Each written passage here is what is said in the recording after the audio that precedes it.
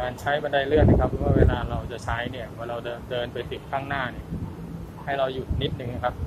แล้วค่อยก้าวเท้าขึ้นไป ให้อยู่ตรงกลางของบันไดนะครับ ไม่ให้เท้าติดสีเหลืองนะครับขอบสีเหลือง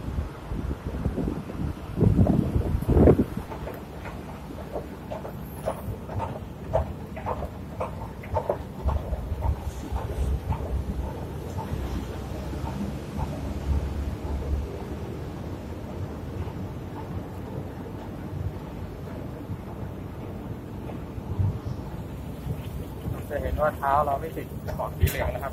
แล้วถึงเวลาเราก็ก้าวไป ในกรณีลงก็เช่นกันนะครับ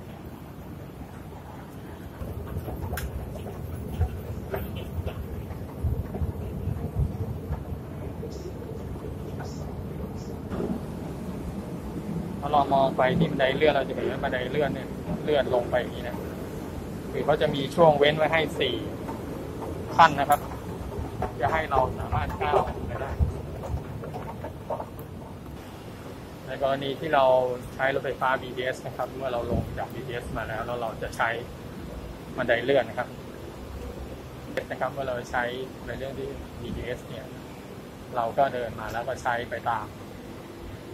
นั่นเลยนะครับ แต่นี้วิธีการใช้ก็คือ ง่าย ๆนะครับ ไปถึงข้างหน้า ก็หยุดสักนิดนึงนะครับ แล้วค่อยก้าวไปนะครับ แล้วให้เท้าเนี่ยอยู่ในกรอบสี่เหลี่ยมสีเหลืองนะครับ อย่าให้เท้าส่วนใดส่วนหนึ่งไปแตะสีเหลือง เพราะว่าตรงจุดที่เป็นสีขอบสีเหลืองเนี่ย มันจะมีการเลื่อนขึ้นเลื่อนลงนะครับ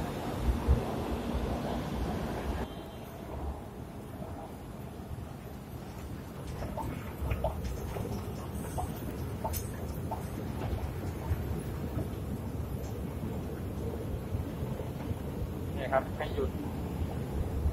ให้เท้าอยู่ตรงกลาง ไม่ให้ไปแตะขอบสีเหลืองนะครับ